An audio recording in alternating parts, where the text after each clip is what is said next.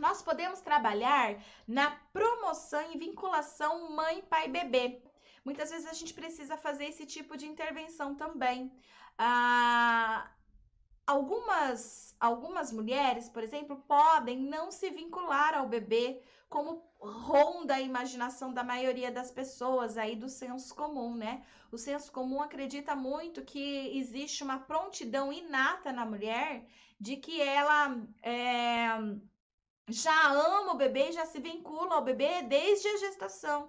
E isso não é verdade. Tem mulheres que elas passam o período da gestação e não conseguem se vincular ao bebê. E vão, vão, vão ter situações em que o vínculo vai precisar ser restabelecido de alguma forma ou estabelecido.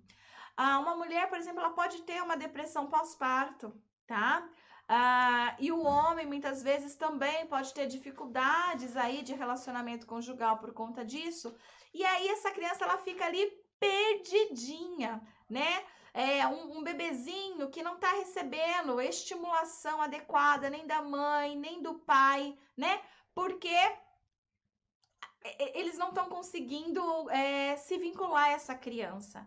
Um psicólogo perinatal, então, ele consegue, né, é, trabalhar de forma a promover essa vinculação, tá? Com técnicas, independente da abordagem com a qual trabalha, cada abordagem vai ter uma técnica diferente aí da sua própria abordagem que você pode sim, né, usar ela durante o, a, o seu atendimento em psicologia perinatal, tá? Então, essa promoção da vinculação mãe, pai, bebê também é um papel que o psicólogo perinatal pode exercer.